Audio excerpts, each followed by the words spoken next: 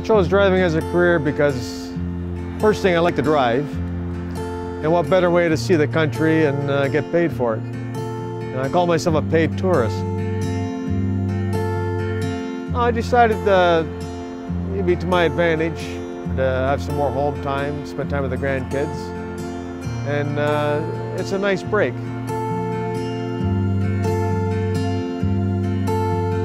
One thing, they, they match you up with a, uh, another driver who's in the same wavelength you're in type of thing. Like uh, I, I share a truck with Paul and, and he doesn't smoke, he doesn't have pets.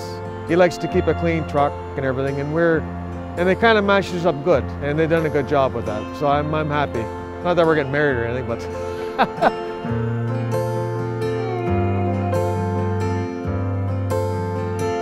Well, seven days, seven days on. So I would get in Thursday morning, go out on my trip, and then I would come back uh, Wednesday afternoon or Wednesday night. After I take all my stuff out, the shop will come in. They'll get the truck, bring it in the shop, and they will they will sanitize it and clean it up and have it ready for Paul the next morning, the next driver the next morning.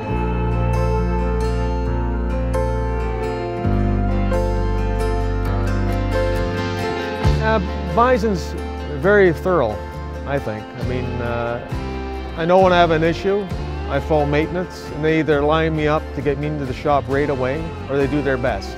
But they try to fit you in, and they're right on top of safety. You know, I work with other companies, and uh, it doesn't match Bison's uh, safety.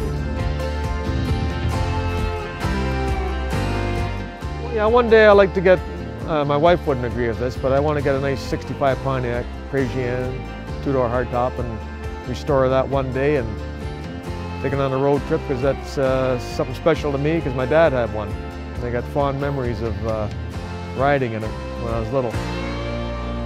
Yeah, so that's one day.